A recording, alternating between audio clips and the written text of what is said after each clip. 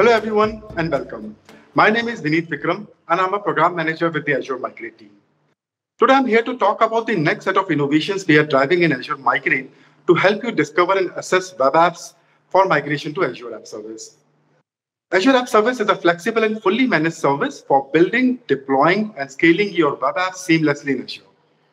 Before we see this new feature in action, let's learn about Azure Migrate and its features first. Azure Migrate is a one settled place in Azure portal that provides a unified experience to discover, assess, and migrate your servers, databases, and apps to Azure. We also have coverage for scenarios such as ISV integrations, containers, and VDIs. You start off by discovering your large-scale data center. These could be VMware, Hyper-V, bare metal, AWS, GCP, or any other cloud service provider. You could also inventory install software, perform application dependency analysis, and discover SQL instances and databases without installing any agents. Azure Migrate Assessment provides you right sizing and Azure readiness recommendations. Once you have discovered your entire estate, you could create assessments for migrating to Azure IaaS, AVS, and Azure SQL.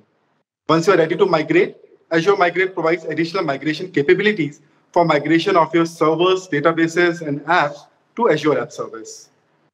Until now, you could do agentless discovery and assessment of your virtual machines and bare metal servers with Azure Migrate, but you would use integrations with tools like App Service Migration Assistant for assessing your web apps individually. With that newest addition to Azure Migrate, you can discover .NET web apps running in your VMware environment and create assessment or migration recommendations at scale for migration to Azure App Service. With that, let's jump right into the demo and let me show you this new feature in action. So here I'm on the Azure portal and I browse to Azure Migrate overview page. You can see that Azure Migrate supports various migration and assessment scenarios. Since we will be focusing on at scale discovery and assessment of web apps today, I will select servers, databases, and web apps under migration goals and create a project.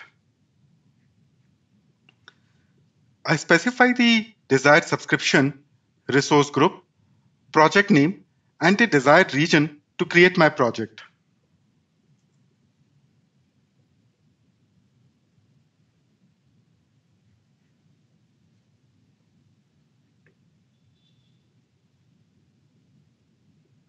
Once the project is created, you can see that Azure Migrate Discovery and Assessment tool has already been added to my project.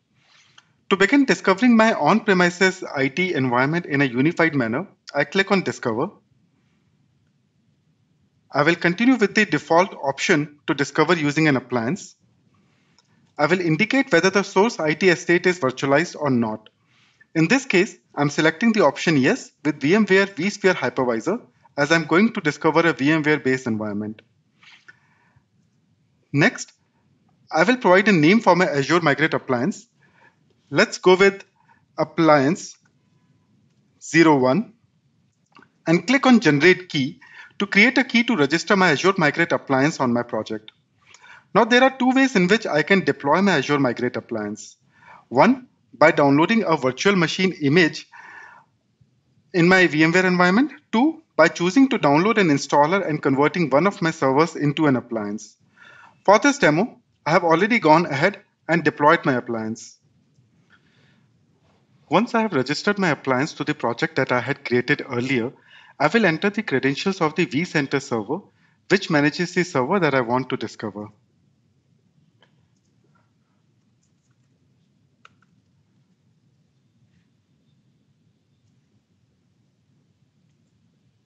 To identify the installed applications on my servers, including IIS installations, I'll provide credentials to the individual servers running in my VMware environment. I can add both domain and non-domain credentials. In this case, I will add non-domain credentials. Please make sure that the account used has local admin privileges on the source server. Azure Migrate automatically maps credentials to the respective servers, so one doesn't have to map them manually. Most importantly, these credentials are never sent to Microsoft and remain on the appliance running in your data center.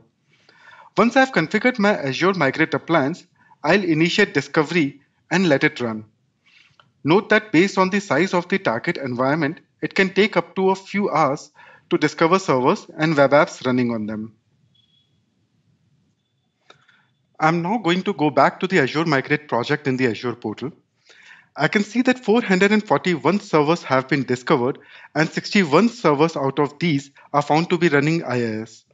I can now start investigating deeper into these IIS web servers to understand what type of .NET web apps and what attributes about those web apps have been discovered. I click on the servers running IIS. It takes me to the discovered servers page where I can see details of the IIS web servers. Under the web app columns, I can see the number of web apps hosted on each IIS server. I click on it to view the list of apps along with attributes like the web server type, version, URLs, binding ports, and application pools. Now that we have seen all the discovery information, I just want to pause and land that we were able to do this without placing any agent on any of the servers. And we were able to do it for the entire estate discovered using Azure Migrate in a matter of minutes. Now I'm ready to start creating an assessment. Creating an assessment is straightforward. I go and click Create Assessment. I pick Azure App Service as the target. Once I've specified that in the next step, I can then specify attributes of the assessment that I deeply care about. For example, do I want to run my apps in an isolated environment or not in App Service Plan? In this case, I will go with the default options and click Next.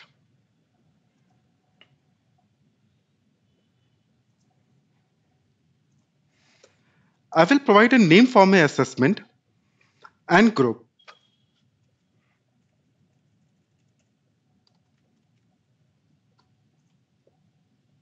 I can choose to assess a few web servers or my entire estate. Let's go ahead and assess every web server that is discovered. Review the assessment properties and click on Create Assessment. It only takes a couple of minutes for the assessment to get computed. When I go back to the Azure Migrate portal, I click on refresh. And there you have it. You see one assessment has been created for app service. Let's click on that.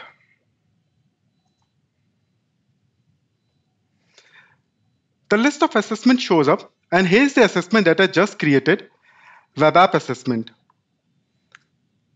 Let's go deeper into the assessment and see what Azure Migrate is telling me about my estate and its readiness for Azure.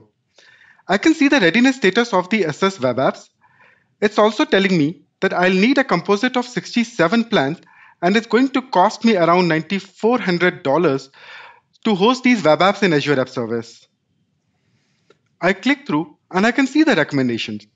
Let's look at the specific one. Why is it not ready to migrate to Azure? I'm very curious to know about that. I click on it and there you go. It tells me that Azure App Service only supports port 80 and 443, and this one was using port 85. So our discovery was so detailed that it was able to understand what was really happening with the web app and its configuration on-prem and what may not ideally work for app service, and it gives us recommendation and remediation guidance. The assessment also provides a recommended SKU, recommended target deployment type, and has allocated my web app to an app service plan. An app service plan defines a set of compute resources for a web app to run. Let me select this plan and to view the details, I can see the core, RAM, memory, etc. that this plan provides. I can also see other web apps that are part of this plan. Only those apps whose readiness status is ready or ready with conditions gets allocated to a plan. Please note that in app service, one is charged for the number of plans running in app service and not the number of web apps. And there, the assessment is helping you understand readiness, suitability, the right plan, and what it will cost to host your web apps in app service. So I just showed you very quickly at scale discovery and assessment for web apps that need to migrate to app service. Again, app service is a great target for your .NET and other web apps.